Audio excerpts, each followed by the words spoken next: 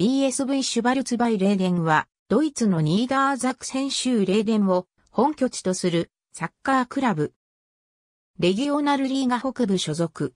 BSV シュバルツバイレーデンは1954年6月21日に創設。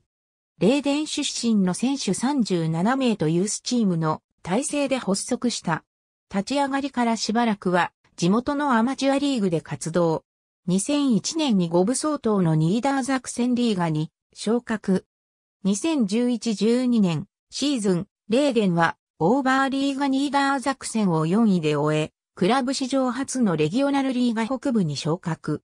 レーデンは2003-4年の DFB ポカールに出場し、1回戦で TSV1860 ミュンヘンと対戦した。2013-14年の DFB ポカールでは、レーデンは1回戦でバイエルミュンヘンと対戦。本拠地のシュポルトプラッツバルトシュポルトシテッテンホームスタジアムは、シュポルトプラッツバルトシュポルトシテッテンであり、固定席350席と立ち見席4000席を有する。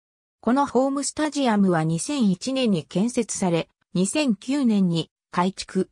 2012年にはレギオナルリーガの規定に従う妖怪地区が行われた。